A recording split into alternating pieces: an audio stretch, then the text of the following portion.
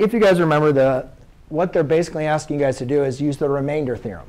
And if you guys remember, this is your 0. And what they're asking is, is basically use the remainder theorem to find the remainder. So there's two different ways you could do this. By using synthetic division, you could figure out what the remainder is, right? Correct? And whatever that number is at the end, that's your remainder. But they're not asking you to do synthetic division. They're asking you to use the remainder theorem.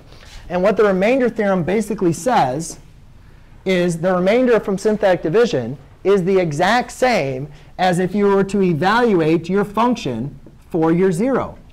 So instead of doing p of x, now what we're going to do is p of a, which is negative 5. So now what I'm going to do is replace all of my x's with a negative 5.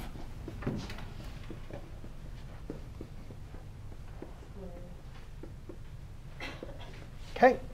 So negative 5 is negative 5 times negative 5 times negative 5, which is negative 125.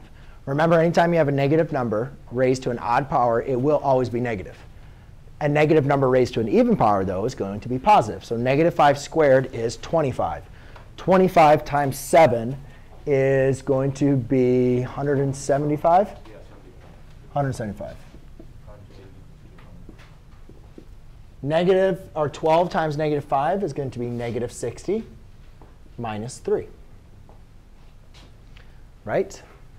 So if I combine these two, that would give me negative 185. Negative 185 plus 175 would give me negative 10. Negative 10 minus 3 would give me negative 13. So that is the remainder. Now, what did I say? We could always check our answer by using synthetic division, like I wrote up before. So let's just do that. You didn't have to do this, but I just want to show you how to check your how to how, remember what this was from last class period. So if I was going to use synthetic division, remember you bring down the first term, multiply on the diagonals, add on the vertical. 1 times negative 5 is negative 5. 7 plus negative 5 is positive 2. 2 times negative 5 is negative 10. 12 plus negative 10 is positive 2. 2 times negative 5 is negative 10. Negative 3 plus negative 10 is negative 13. Do you guys see? So all they're asking you to do is find a remainder by using the remainder theorem.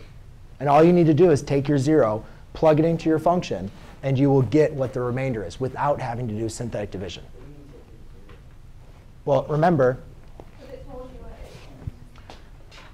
remember, if this is your divisor, that is what we call your factor, right? A factor is a number that evenly divides in something.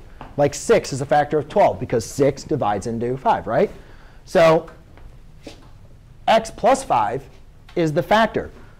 Does x plus 5 divide into this polynomial? Well, what we need to do to determine that is find the 0. So how do you go from factors to zeros? What do you do?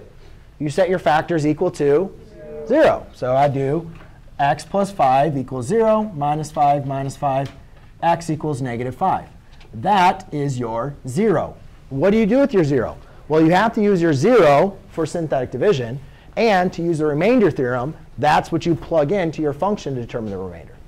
Okay? So this problem, you, didn't get, you weren't given the factor, but um, that's what you would do for that. Okay? Uh,